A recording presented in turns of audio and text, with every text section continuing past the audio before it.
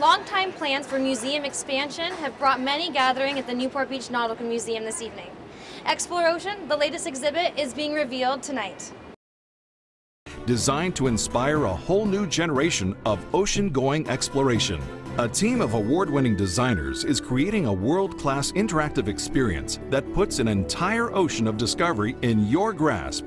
This is ExplorOcean. ExplorOcean is really going to be the gateway to ocean adventure. We've just completed our initial design of the new facility and the programming, what the visitor will experience in ExplorOcean. Ocean explorer Christopher Welsh has partnered with Richard Branson and the Newport Beach Nautical Museum to launch Virgin Oceanic, traveling to depths of the ocean that have never been seen by human eyes. The data they gather will be brought right back here to Newport Beach, among other locations. My project is to take a submarine to the deepest place in each of the five ocean basins. So we're going to go around the world with the sub and dive all the deep places, and that's the five dives mission. We'll probably do 25 or 30 dives in the course of it because it's pretty incredible to have a sub that can go literally anywhere. And there's lots of things I want to see. So as we cruise along, we're going to go down and see what's there.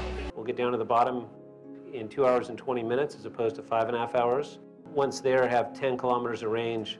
We know virtually nothing about what's down there. Um, and there's going to be fantastic things found.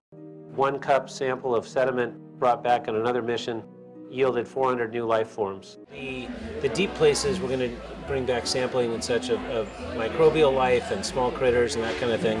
Semi-predictable, but has a lot of science value and a lot of medicinal value. We're, we're kind of doing something new, which is sort of an open source approach where all the sampling we bring back and the knowledge will be disseminated and people do their own research after that. But the raw material of the research we're going to try and share with everybody.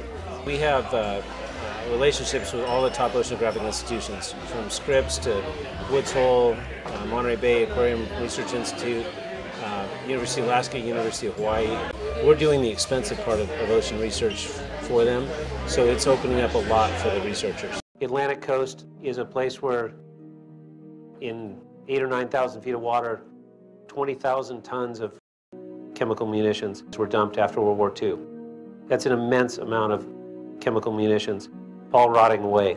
That's the kind of thing that ought to be shown to the world so that something will get done about it. I'm going to try and do something that's never been done before, which is to uh, put a sonar tag on a sperm whale. The sub's fast enough to stay up with them and track it down where it feeds on the giant squid, which is the giant squid's 50 feet long, so that's pretty overwhelming to contemplate. They're aggressive. The, the sperm whales come back with, with tooth marks from the squid, so it's a it's a big fight. And that'd be no one's ever seen a giant squid alive, so it'd be incredible to, to film that. As ExplorOcean develops, it's going to become more of a, a place for, for people to come down and get inspired. Um, one of the pet projects I'm hoping they'll have is is a sort of live tracking of explorers around the world. And you know, no one there is no museum of exploration right now. So if you give 10 or 15 explorers that are really doing things a venue to show what they're doing, it's great for them, it's great for people coming here to get inspired and see what's going on.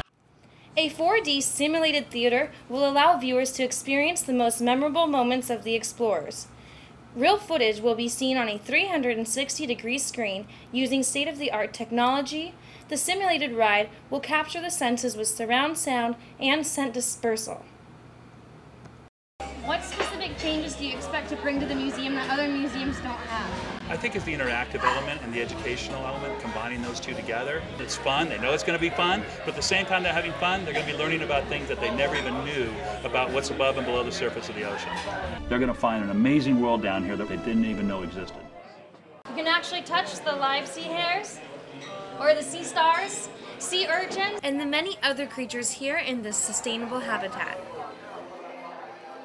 Well, I think ExplorOcean is going to be something that people are going to know not only in Newport Beach and Orange County, but all over the country. It's, it's going to be a world-class attraction. We're going to show the oceans in a way that no one's ever seen before.